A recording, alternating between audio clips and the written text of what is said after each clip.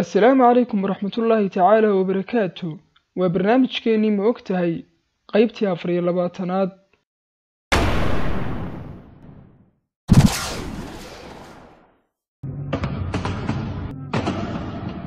Ma og tahay dibqalloocu inuu aada uga boqo dabka? Haddii dab badan hareeraha lagaga oogo oo uu arko in meel laga fakadaa aanay jirinna uu isagu isqanqaniino ilaa uu ka dhimanayo ma og tahay inuu nabilyon bonabartigii faransiiska ahay ee adduunkaba ku duulay ee loo yaqaanay inuu yahay nin qalbi adag oo aan digiigaxani haddana uu ka baqi jiray bisadaha. Ma og tahay beedka adduunka ugu weyn inuu yahay beedka gorayada uuna muggiisu gaadho laba kiloogaraam ma og tahay macnaha magaca dahraan ee caasimadda iiraan inuu yahay taxtal ardi ama dhulka hoostiisa.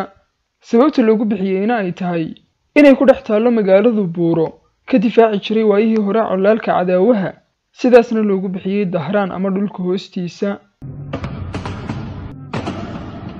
Ma og tahay inay shinnidu dagaalanto oo wax qaniinto keliya marka la dhibo ee la ciiro iyo marka ay howlgab noqoto ee aanay wax soo saarka lahayn qaniinyada dabadeedna ay aaraaba dhimato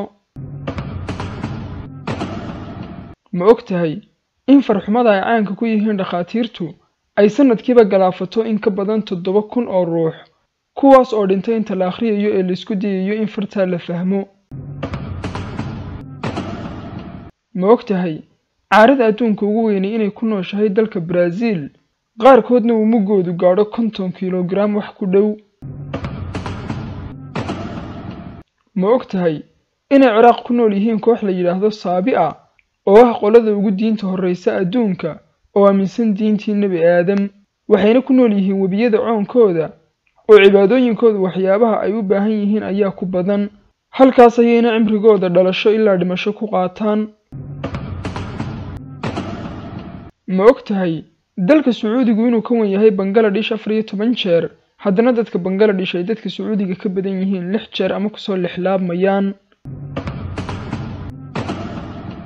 ma og tahay haddii uu dawacu dhinto inay dawacadu guursato dawac kale laakiin haddii ay dawacada lafteedu dhimato uu dawacu karin la noqdo oo aanu dhadig dambe ka ag dhowaanin